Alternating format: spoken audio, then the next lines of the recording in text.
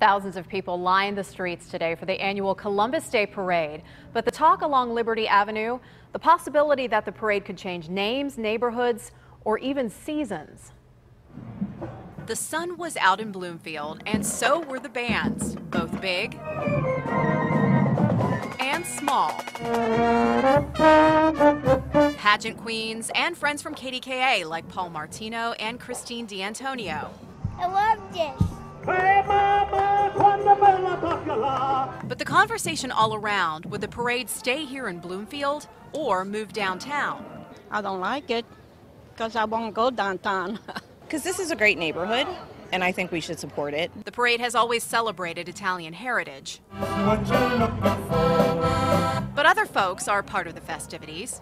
So it's more than just Italian Americans, it's all ethnic groups, and we invite all ethnic groups to participate in this parade.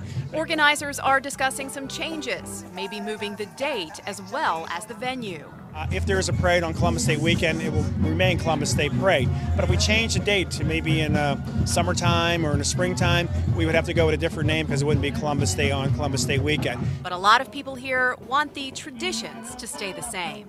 I think we need to leave history alone, and we keep changing it. History is history, and that's what makes it history.